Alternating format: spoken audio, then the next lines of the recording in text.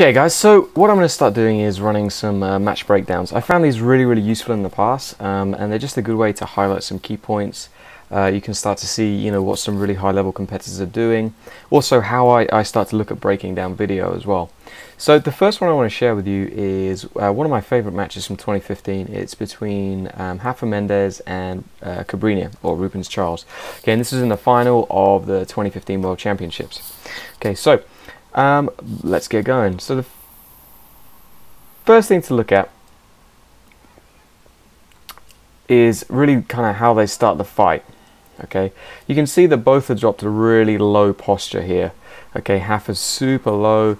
You know, same with same with Cobrinha as well. Although Rafa's just a little bit lower than he is, um, and this is because you know they're both known as being good guard players. Uh, so they're trying to keep their legs back to avoid getting entangled. Okay, now Rafa does a great thing here. Yeah, he runs, catches that lapel. Now here, Cobrinha has to be careful because both the Mendes brothers are known for that, that guard pull to ankle pick. Uh, you often see Gui do it, but I know that is very good at it as well. So here, Cobrinha has to think about, um, you know, stopping that from happening, defending that guard, making sure he's not getting tangled back, and making sure he's not getting into that ankle pick as well. So there, and he's a little bit late on the sit down. So the problem there is if he'd have uh, sat down and stayed down and had come on the top, he would have lost two points. So now Rafa gets to his De La Riva position, very, very strong position for him. And you can see from here, he's already started to tie up this lapel. He's pulled it across, you know, it's going to make it very hard for Cobrinha to face him, and he's getting a good angle. So as we go further on, you can see that he's really now, that Cabri he's really starting to look towards Cobrinha's back. Okay, he's got this collar grip which can control it, you know, and it's going to be very hard for Cobrinha to face him, which is what he needs to do to defend that position. Okay, yeah, now he's just going around, boom, and as soon as he switches that hand off the collar into the hip, now Cobrinha is in a world of trouble. He really needs to start defending strong, otherwise Rafa's going to take his back, he's going to berimbolo him and go underneath. And that's what he does. Cobrinha chooses to try and roll through and beat the roll of Rafa so that he doesn't get his back taken. And he does a pretty successful job of it as well. Here now Rafa's on his back. Uh, he's trying to get underneath the hips still.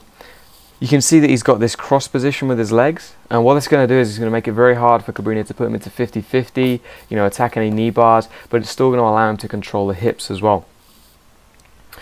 So yeah, now here Rafa's uh, coming up. He's looking at actually probably transitioning uh, to the back now, or he's going to look at getting deeper underneath Cobrinha's hips.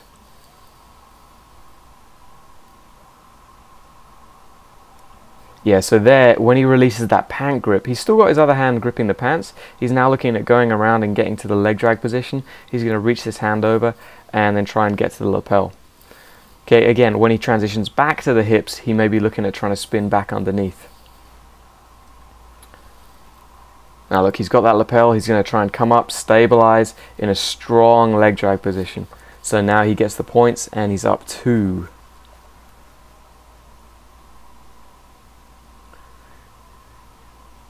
Now you can see that he's staying very, very heavy over the hips, making it hard for Cobrinha. He's got that lapel, and he's really just, you know, forcing Cobrinha to work. Cobrinha is trying to get this leg back inside. You know, he's doing a pretty good job of tangling up, you know, tying it up with his feet. And now he's he's shot that one leg inside. He may be looking at going towards the the 50-50. Here he's framing against Rafa's neck to try and keep him off balance uh, and prevent also like Rafa going further around towards his back. So I know they stay in this position for a little while. You know, here he's the referee's just uh, resetting the grip, uh, the gi pant grip. So let's see what happens. Yeah, Cobrinha is doing a good job of just pulling this leg inside. It's going to make it hard for Rafa to transition to like a strong uh, guard pass position or complete that, or even go to the back. It's going to be more difficult to do.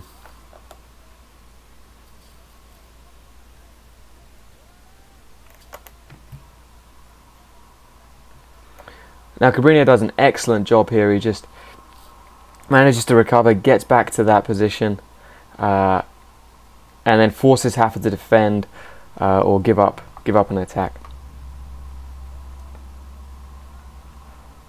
There's one other thing that Rafa does here as he's losing the position. Yeah, you can see it there. As he's losing, he looks to roll back underneath, and you'll see it when he he reaches behind him there, and he's starting to grab the hips. Here he's going to try and spin back underneath to avoid Cobrinha putting him into any of those positions. Cobrinha just does a good job, gets right underneath Rafa's hips, makes it very difficult for him to, to stabilize anything.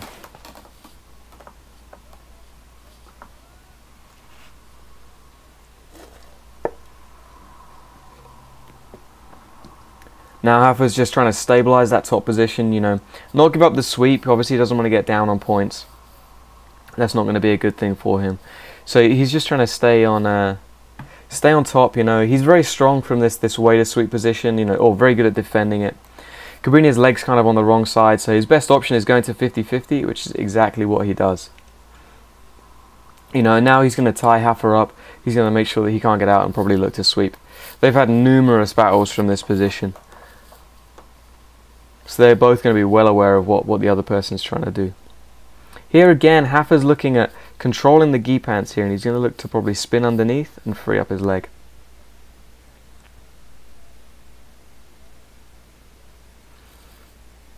You can see he's reaching underneath this leg, you know, trying to push it off balance.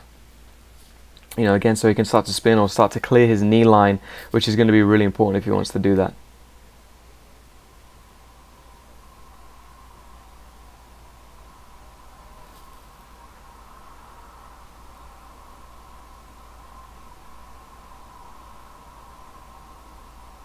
Now Cobrinha has done a good thing. He's he's recognised the danger with that grip, so he's just pulled it off, you know, and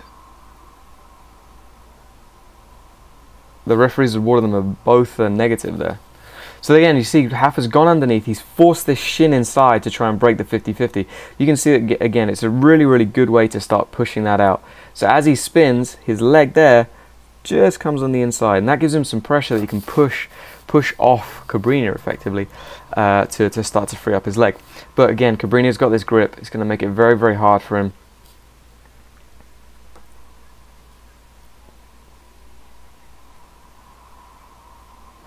So again, now they're just stuck in this upside down position. Rafa's just uh, he's trying to again go towards the back, but obviously he's you know he's aware of his knees. Uh, he doesn't want to be putting that. It's a great move. He's managed to just disentangle himself very well, and again he re-rolls straight away towards the back again. Yeah, his foot's got a little bit, well, Cobrinha's foot's got a little bit caught up, but and they go back to the 50-50 again. Let's just look at that one more time because it was really nice. So from here, you know, he's trying to free up his leg. He's trying to push off Cobrinha. You know, free his knee there. He frees up the knee. He's still got control of the pants, so he can still go underneath. He scrambles around to the side. He's looking at going to the leg drag. Cobrinha does a great job of tying it up, and then Rafa just decides to roll underneath and again go back, trying to take the back or go to that leg drag position. I know from when I was training with um, with Rafa uh, just prior to this, he was he was incredibly good at this. He would be always rolling underneath from whatever position he was at. Um, very good at either getting to the leg drag, getting to a stronger passing position, or taking the back. Now here he's using this lapel to uh, to come up on top again. Again, he needs to be aware of those points. Cobrinha is just tying him up using this um, this weave position.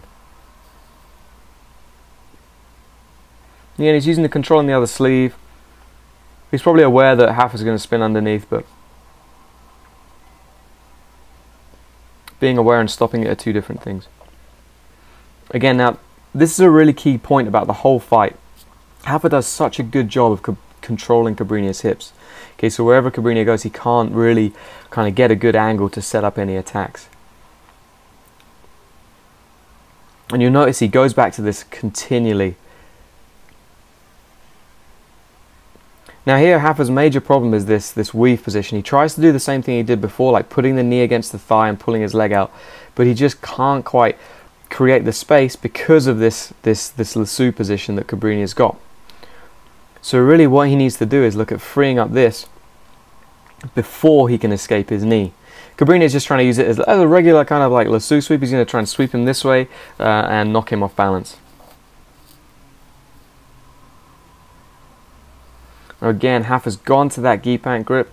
He's controlling it, making it hard for, for Cobrinha. Again, he sits underneath, trying to create the pressure, trying to free up this lasso, obviously trying to free up his leg as well. Now, at that point right there, Cobrinha, let's just go back a little bit. Here he's got the lasso, that's what's stopping Rafa. But Rafa's hands almost escaped, and now Cobrinha decides to let it go. He decides to pull it out so he can try and come on top but Rafa recognizes it, defends, and now he's on the hips with his elbow underneath this leg. And he's really pulled the hips in. Like I said, this is one of the key things that Rafa does in this fight. He keeps control of these hips, really sucks them in towards Cobrinha, so he has no good attacking opportunities. Now, what Rafa is going to look to do from here, he's going to look to circle his hand underneath and then invert. Yes. If you just go back a stage, look, he's here, He frees this up. Rafa comes on top. He gets underneath or starts to pull the hips in. Okay, now he switches the grip on the hips. Here you can see he's using, he's freed up that hand here.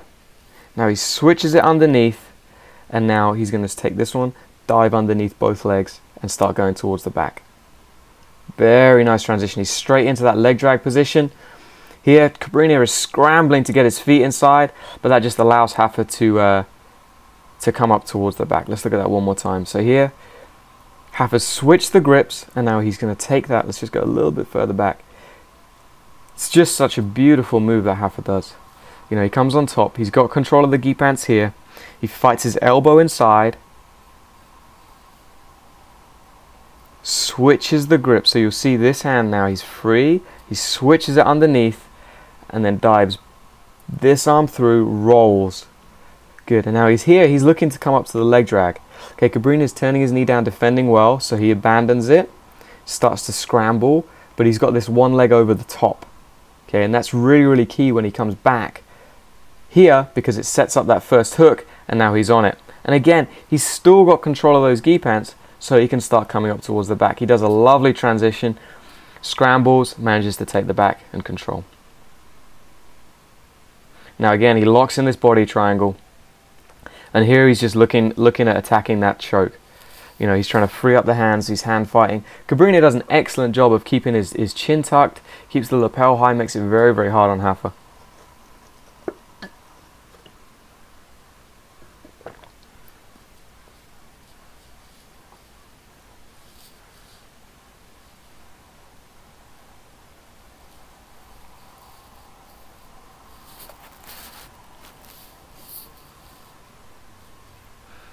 Yeah, again, they're just fighting from this position. You know, a, lot of the fight spends here now. Okay, so they're just, you know, they're attacking. Rafa's trying to get his arm underneath the neck. You know, is doing his good job of defending, keeping his lapels high. You know, Rafa's already got his points for the back, so he's, you know, he's perfectly comfortable to stay here pretty much for the rest of the fight. Although knowing Rafa's personality, he wants to get that submission, so he's really attacking. This body triangle is going to be really hard for Cobrinha to escape. You know, but as I say, he's doing an excellent job of defending. Here he manages to get back to his knees, but Rafa keeps him over, uses this hook to make it difficult.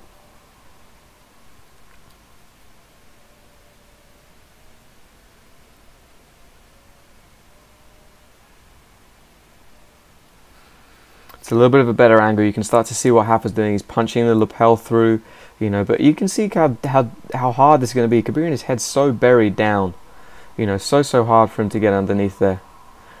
And Cobrinha is just keeping, trying to stay on his side, trying to turn towards Rafa, you know, keep his legs free. Good, and he's trying to spin inside that body triangle. That's really going to be one of his keys here to escaping. So now he's turning, he's turning. Rafa's looking at going to this choke, but he's not quite underneath. He's managed, Cobrinha manages to turn, and then as Rafa throws the leg over, he's able to start turning towards him. Here, Cobrinha, uh, forced to abandon that uh, that position, and now he's kind of in this this this kind of armbar position. Rafa's very good at armbars, but Cobrinha is very strong. Just stands him up, shrugs him, takes him off here. Okay, now you know Rafa's six points up. You know he's in guard. He's in a good, strong position. Okay, Cobrinha is going to have a tough job of, of really getting those points back. And there's a very, you know, there's a very uh, limited amount of time left. I think there's less than a minute left at this point. He's just trying to force open that guard,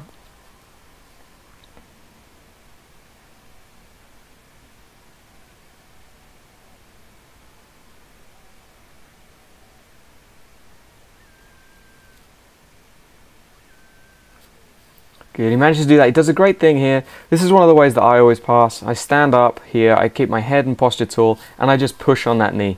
Okay, that makes it so hard to keep it keep it closed. But again, you notice Rafa goes straight back to his De La Riva position. He's already looking for that lapel. He's going to do exactly the same set of attacks again.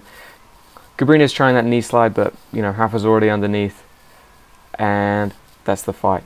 Okay, so really, really good fight. You know, Rafa does an excellent job of controlling the hips, which is something you really need to, to look at doing when you're in those 50-50 positions. Um, Cobrinha does a great job of defending the back. He just, just stays patient, you know, and gradually works his way out. And it's really just a good fight, really, you know, interesting fight to watch. So that's it for this one. Um, I hope you guys found that useful. Hope you learned a few things. Um, I'll speak to you guys soon.